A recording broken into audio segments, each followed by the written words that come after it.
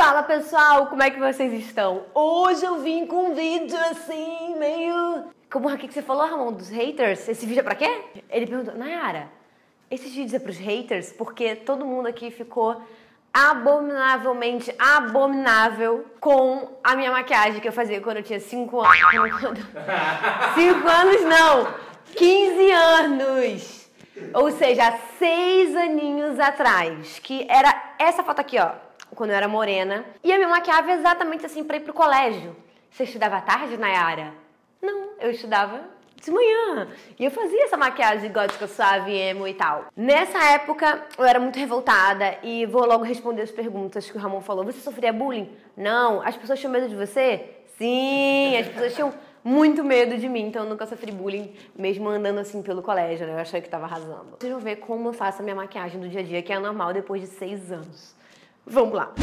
Nessa época, a Nayara nem sonhava em saber o que era primer. Eu tinha acabado de sair daquele, daquela fase meio emo, meio gótica, meio.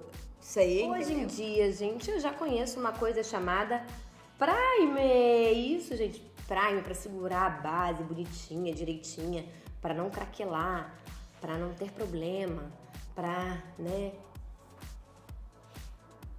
então eu já começava passando assim a base. E tipo, não era uma quantidade grande de base, sabe? Minha pele era muito ruim, porque nessa época eu não tomava anticoncepcional. Então, tipo, tinha muita espinha. Então o que, que eu fazia? Com a mão mesmo. E aí eu passava pouquíssimas, no caso, pouquíssima base, ó. Passava assim, ó. Eu maquiava todo dia pra ir pro colégio. E era exatamente. Ah, aquela foto, essa foto que vocês viram aqui, ó, era eu indo pro colégio, tá? De manhã. 6 horas da manhã. Ó, então eu nem sabia passar, passava assim, ó. Aqui embaixo não existia, né, gente? Ninguém sabia que tinha que passar base no pescoço. Eu, por exemplo, não sabia. Não, peraí, eu tô melhorando, calma, não posso melhorar não. Peraí, então calma só um pouquinho. Pronto, tá bom assim. E diferente do que vocês estão vendo aqui, eu passo bastante base, né? Pra preencher o rosto inteiro, inclusive no pescoço, né, gente? E com pincel, porque para mim não existe mais colocar mão em base ou em corretivo. Eu sei que tem gente que até hoje faz, mas não é uma coisa que eu gosto, sabe? Eu fico totalmente angustiada. E a base, né, a gente passa com maior cuidado, né? Tipo assim, para não ficar marcada aqui embaixo, para não ficar diferente do pescoço. E aí eu vou vendo onde, onde é que não tá uniforme. Aqui, dos lados, dos cantos. Daqui, ó. Até na orelha a gente passa, entendeu? Para não ficar nem um pouco manchado ou marcado do pincel. Você. E o pó, gente? O pó. Eu tô sem o pincel de pó aqui, gente, porque eu esqueci de trazer para o meu vídeo. E que pincel que eu não tava pincel, gente? Tô doida, né? Não dá pincel, não.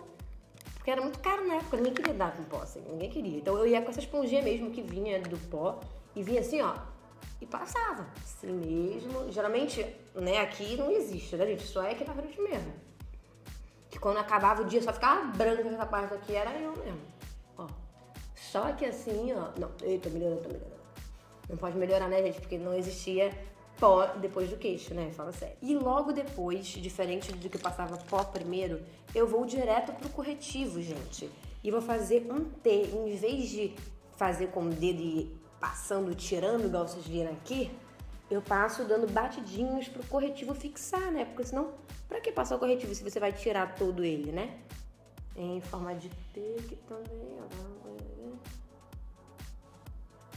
E depois, gente, eu vou com pó, só que eu esqueci o meu pincel de pó, tá? Que é aquele que vocês já estão acostumados. Então eu vou passar um pouquinho com isso aqui, com esse pincel de base, mas vocês sabem que eu tenho aquele pincel de pó que eu esqueci. E com o pincel a gente deixa tudo mais natural, assim, né? Mais leve, não muito pesado e tal. E depois a gente só pega a esponja, geralmente, para você...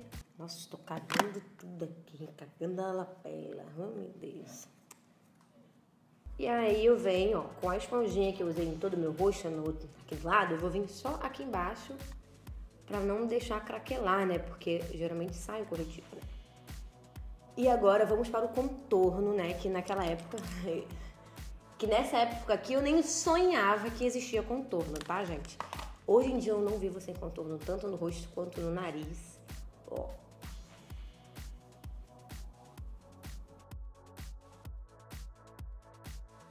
Depois eu vou vir aqui pro meu nariz, gente. Aqui, ó, com um pincelzinho assim. Às vezes eu faço com o dedo também, é bem mais fácil.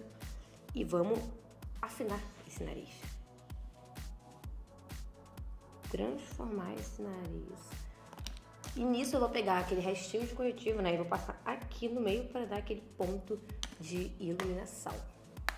E agora, geralmente, eu venho com um pincel de pó e venho fazendo assim, para esfumar. Naquela época, eu, ainda, eu não sabia nem o que era esfumar e eu falava esfumaçar. Assim, esfumaçar, gente, que a gente sabe que tá errado, né? Sério. E depois de passar o pó, gente, eu vinha com corretivo. Cara, como é que a gente passava corretivo na época, né? Do mesmo jeito que a gente passava a base. Assim, ó. Esse corretivo é bem grosso, eu passava aquele de bastãozinho, ó, e eu passava assim, ó. Só espalhava. Não tinha como fazer outro jeito, era só espalhar. Eu sempre tive muita olheira, por isso que eu queria passar depois do pó. Não sei por que eu queria fazer isso. Vinha, esfregava. Ai, esse, esse corretivo é muito bom, né, velho? Mas na época eu usava um fininho, assim, sabe? Que não tinha muita consistência e pá. Só esfregava, só esfregava. Gente, nessa época, vocês não têm ideia, eu gravei um vídeo pro YouTube tinha 15 anos, mas não, eu não tinha um canal. Eu gravei um vídeo pro YouTube, eu me maquiando pra ir pro colégio. Vocês não têm ideia, né? Na época eu tinha 15 anos. Só que eu não tinha meu canal, eu não tinha nenhuma ideia de nada, eu não assistia ninguém. E eu não sei porque eu tinha gravado o vídeo pro canal. É incrível isso, né, gente? Sempre quis ser youtuber, entendeu? Só que só depois, depois de muito tempo eu criei meu canal. Depois disso, eu ia passar só um pouquinho novamente o pó, geralmente um pó bem mais claro que minha pele, tá, gente? Passava tudo de novo aqui no corretivo. E essa era a minha pele, gente. E uma coisa que eu preciso fazer é tirar essa sobrancelha, né, gente? Porque nessa época eu nem sonhava em ter sobrancelha ainda. Porque eu não tinha, né, gente? Tinha um piercing aqui. Como vocês podem ver aqui do lado, né, minha sobrancelha linda e maravilhosa, eu não, não tinha muito isso, né, gente? Eu tenho que tirar minha sobrancelha, porque na época eu nem sonhava em ter uma sobrancelha.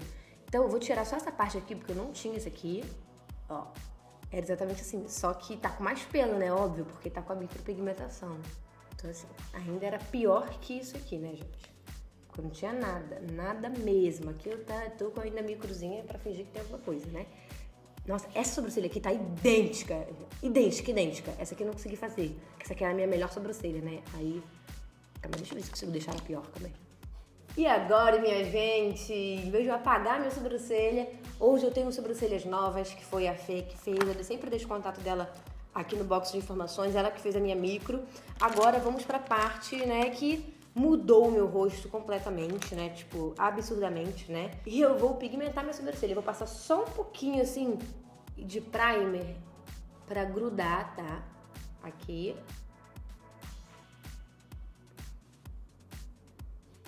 E olha, eu caprichava. Uma coisa que eu caprichava era no blush, gente. Blush era uma coisa que eu caprichava, achava que tava arrasando, assim, ó. Eu não dava chinelada, mas eu deixava bem assim, falso, ó. Deixava bem, bem falsinho mesmo, assim, ó. Não era. Eu não fazia aquela marcação aqui, eu fazia aqui tudo, ó, tá vendo? Eu achava lindo. Esse aqui ainda tem um pouquinho. Esse aqui é corado, eu passava rosinho, não tem rosinha. Hoje em dia eu acho feio rosinho. Nessa época eu nem sonhava em fazer contorno nem nada do tipo que vocês estão vendo aqui do lado, né? E agora eu vou pro olho, tá, gente? Eu, lógico que tem vários olhos, vários tipos de olhos que eu faço, né? Assim, de maquiagem no olho. Dessa vez eu vou fazer o mais simples, tá? Não vou fazer aquele marrom que eu tenho muito costume de fazer, porque senão vai ficar muito repetitivo. Vamos lá. Tô passando só um pouquinho de corretivo aqui, que eu vou usar como primer, né? Na pálpebra, pra gente ser mais rapidinho. Vou fazer uma maquiagem básica pra vida, que eu só uso essa ou a marrom, tá? Que a marrom você já conhece, toda hora eu tô fazendo ela. Vou vir com uma sombrinha bem clarinha aqui, ó. Depois de passar, eu vou passar uma sombra, a mesma, a mesma da que eu sempre passo no olho todo, aqui, ó, direto no côncavo, tá? Com direto também precisa de fumar, porque aí me poupa tempo e é super fácil. Eu sei que todo mundo fala que o ideal de fazer o chumado são três cores, tá, gente? Mas eu não tenho paciência.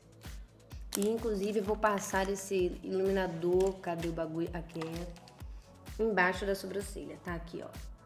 Vou fazer ele acompanhar. O mesmo que eu passei o corretivo. Agora, vamos para o grande finale.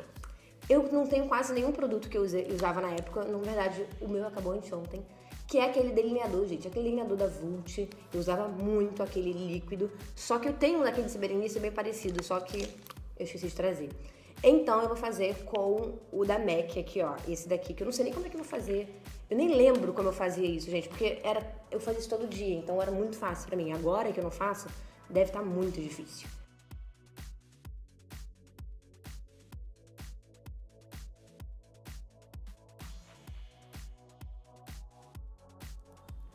Caralho, é outra pessoa. Que horror, velho. É outra pessoa. Você não saía assim na rua. Saía. Pro colégio, 6 horas da manhã. Às seis horas da manhã. 6 horas da manhã eu saía assim. Duvido que você ia pra, saía na Sério, rua. isso aqui, essa foto que eu tirei, foi depois do colégio. Estranho, não é pouco não. cara. É medo, só pode ser medo. Medo, mesmo, medo. Cagaço. Eu não sofria bullying, ninguém me zoava, ninguém falava.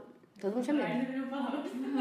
Eu ia falar, Só que assim, eu vou, vou te falar, o teu olho direito tá bem diferente do esquerdo. ah, mas tudo bem, não tem como fazer igual.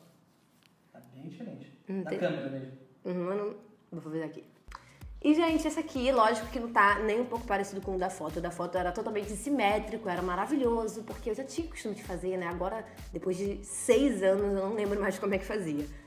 Depois disso, gente, vou passar o delineador. Como eu tô com esse em gel, eu gosto de usar isso aqui. E agora, gente, em vez de eu passar, né, entre aspas, o lápis de olho que eu passei aqui do lado dentro, eu vou passar um pouquinho de tinta escura, tinta escura, um pouquinho de sombra escura, só que fora do olho, pra abrir o olhar, né, gente? E aí eu passava rímel, gente. O rímel é aquela forma, né, cagada mesmo, assim, ó, que não faz diferença nenhuma na nossa vida. E, gente, a maquiagem está maravilhosa para ir pra balada, ou no meu caso, para ir pro colégio às 6 horas da manhã, né? E tal. E eu fazia essa maquiagem, tipo, em. Eu perdi milhões de minutos fazendo essa maquiagem aqui, mas eu fazia em 10 minutos, 5 minutos no máximo. Era o tempo que eu lembro que eu acordava 6 e 15 e 6 e meia a gente estava indo embora. Então, 6 e 15 eu me arrumava, botava roupa, me maquiava e estava pronta para ir pro colégio, para vocês terem noção. E, agora vamos finalizar com milhões de máscaras, né? Vocês não precisam, não vou botar aqui de novo, mas eu começo com essa, depois eu vou pra essa, depois eu vou pra essa. Essa da Quem Disse e essas duas são da Volt. Mas pega um takezinho de eu fazendo, não vou nem mostrar.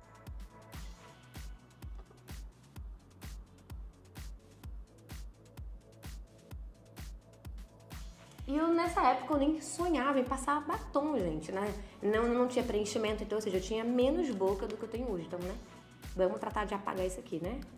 Que o que tudo que não for, a gente apaga, né? Eu tinha quase nada de boca. Você pode dizer que isso é um vídeo pra deixar tua hater feliz? Ah, não sei. Então, né, vamos eliminar o pouco de boca que eu tinha.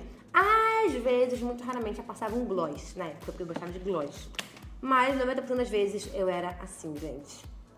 Acreditem, eu tenho muitas fotos, tem coisas que não dá pra postar, tá? Eu só vou mostrar essa foto mesmo. Depois de muitas e muitas camadas de máscara de cílios, eu sempre venho e retoco o blush e iluminador, tá, gente? Porque são as coisas que mais E vamos para o batom, que nessa época aqui eu nem sonhava que um dia iria passar batom, tá, gente? E hoje em dia, os batons que eu gosto de usar é roxo ou nude, tá? Vou passar um roxão, porque nessa época que eu nem sonhava que um dia eu iria passar batom, porque eu não passava nessa época. No máximo, passava um batom vermelho, mas assim, bem caquéticozinho, sabe?